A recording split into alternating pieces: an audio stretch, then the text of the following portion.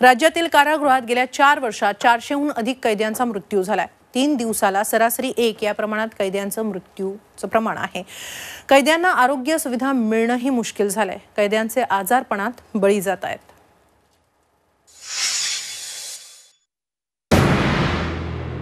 कारागृहात कैद्यांचे हाल आणि अधिकाऱ्यांची हुकुमशाही जोमात आहे. भ्रष्टाचारानं कळस गाठलाय.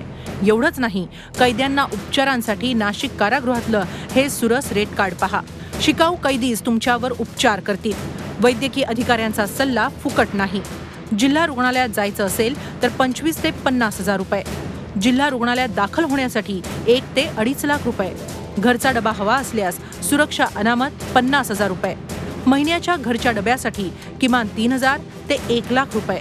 बाटली बंद पाणी हवे असल्यास दहा रुपयांची बाटली पंच्याहत्तर रुपयांना. कारागृहात असलेल्या कैद्याच्या नातेवाईकांना हे रेट कार्ड उघड केलंय. कारागृहाचं स्थान आणि कैद्याची प्रतिष्ठा पाहून हे रेट वरखाली होतात. म्हणजेच सर्वसामान्य किंवा ऐपत नसलेल्या कैद्याचा उपचाराविना मृत्यू निश्चित. अनेक गंभीर आरोपींचे मृत्यू संशयास्पद आहेत. जवळजवळ एक वर्षापूर्वी मी तक्रार करतोय. परंतु अद्यापर्यंत या तक्रारीला कोणीच लक्ष दिलेलं नाही या तक्रारीकडे. तर ही चौकशी अत्यंत सखोल आणि उच्च दर्जाच्या तपास यंत्रणेमार्फत झाली पाहिजे. विशेष म्हणजे सर्व कैद्यांचे मृत्यू हृदयविकारानं होत आहेत. राज्यात दोन हजार चौदामध्ये एकशे दोन दोन हजार पंधरामध्ये एकशे चौदा दोन हजार सोळामध्ये एकशे एकवीस मृत्यू झालेत. यात सरासरी आठ आत्महत्या आहेत. बाकी मृत्यू नैसर्गिक आहेत.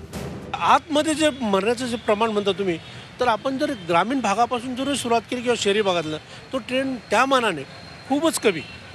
जे प्रमाण जे आपण जेल कारागृहामधलं दाखवलं जातं एज ग्रुपनुसार पाहिलं आपण तुम्हाला तीस ते चाळीस वर्षाचा कोणी आरोपी तुम्हाला मेलेले दिसणार नाही.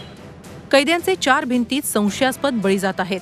सरकारनं तातडीनं यावर अंकुश आणण्याची गरज आहे. Yogesh खरेंसह bureau report Zee media Nashik.